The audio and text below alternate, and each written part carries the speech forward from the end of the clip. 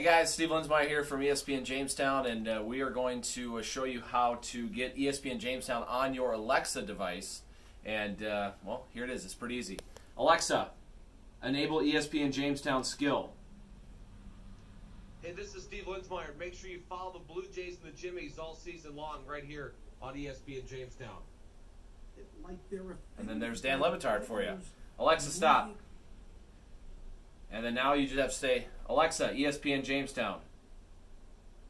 Hey, this is Steve Linzmeier. Make sure you follow the Blue Jays and the Jimmies all season long right here on ESPN Jamestown. There you go. Um,